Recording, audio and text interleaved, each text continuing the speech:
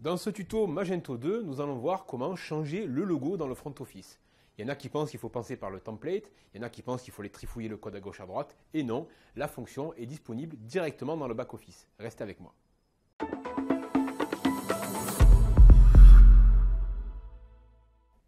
Dans cette vidéo, nous allons voir comment changer le logo ici dans le header euh, de Magento.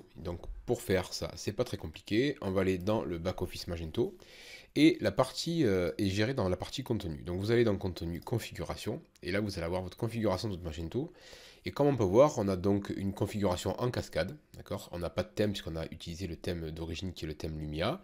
Donc là, on va pouvoir modifier des informations concernant l'instance de Magento de façon globale.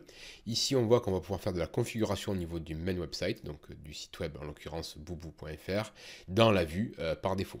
Donc on pourrait changer par exemple le logo que pour la vue française ou que pour la vue en anglais, tout simplement. Nous, ce qu'on va faire, c'est qu'on va dire, ce qui est logique de faire d'ailleurs, c'est de dire que on va changer le logo pour le site web au complet. Donc on va venir modifier ici la partie logo. Puis ensuite, on va voir dans la partie en tête ici, venir modifier le logo. Donc on va faire upload. Et on va venir donc récupérer notre logo ici et l'uploader tout simplement. Donc là, on voit bien qu'on a le logo qui apparaît directement et je fais sauvegarder la configuration. Je vais donc pouvoir retourner sur mon front office. Donc j'attends que ce soit chargé.